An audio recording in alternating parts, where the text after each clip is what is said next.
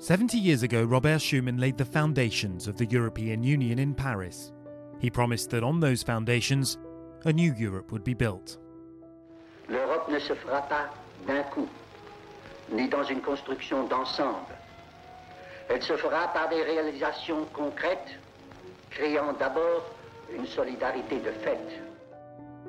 It was a message of peace, unity, and hope between neighbouring countries emerging from the horrors and destruction of the Second World War.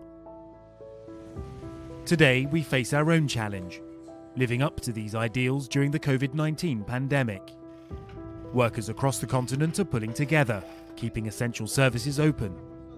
Member states are offering their neighbours a helping hand to fight the virus and are continuing to build their common future together.